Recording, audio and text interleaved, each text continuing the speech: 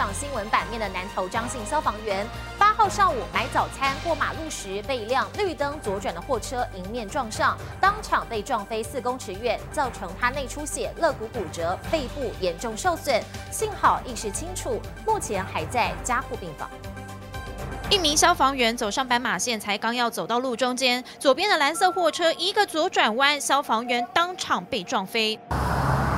事件就发生在南投埔里八号上午九点多，这名消防员过马路准备买完早餐就返回队里，没想到被这辆绿灯左转的货车拦腰撞上，喷飞将近四公尺，造成他内出血、肋骨骨折、肺部严重受损，所幸意识清楚，目前住进加护病房。我们的一位一位同仁刚好是在路的对面，看到马上冲过去。昨天其实我要放假了，因为听到同仁广播有 Seven 有车祸。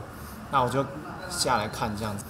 然后才发现是我们分队同仁。警方表示，货车驾驶没有酒驾，声称是转弯时没有看到消防员才会撞到他。而这一名被撞的消防员，就是去年从三楼垂降弹起他告白的张姓消防员，超狂求婚一度要上媒体版面。如今发生意外，许多人都为他加油。记者曾如成南投报道。